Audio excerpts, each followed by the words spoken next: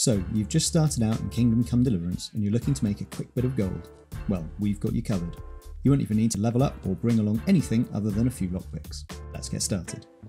Firstly, you can get some lockpicks for free from Miller Peshek at the Rattay Mill if you start his quest to learn more about how to pick locks. Next, head into Rattay and into the main square. Head straight ahead through to the churchyard and then around the back of the church to the small guard tower. Here you have two options. The immediate door up a few stairs is a hard lock, or you can turn around and head up the ladder onto the battlements and along to another door on the tower.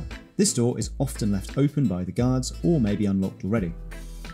If not, wait around until the guards pass through and you'll be in.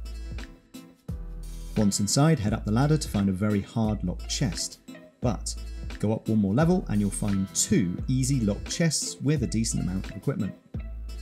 There may also be some things left on the walls and on tables, so check those too. If someone spots you or is coming up to check what you are doing, wait until they are climbing up a ladder and then throw yourself through the hole. The guard won't be able to react in time and you can get away with absolutely no problems. Take your new equipment back to Miller Peshek and sell it off. For info on how to remove the stolen tag off your new items or how to exploit the miller to make even more money, check out the videos on your screen now. Enjoy that gold